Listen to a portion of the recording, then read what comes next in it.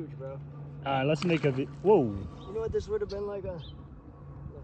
where is he? That's beauty. Let's see what we got.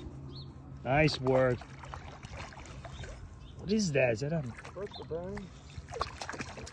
think it looks like a tiger. Big tiger, dude. Big tiger. Like the smallest one I caught. Big tiger, look. That's No, that's bigger than the one that I got. That Yeah, was that's the smallest one. that's I a 19 today. inch probably. Yeah, smallest fish I caught today, though. Biggest tiger that I got was 17.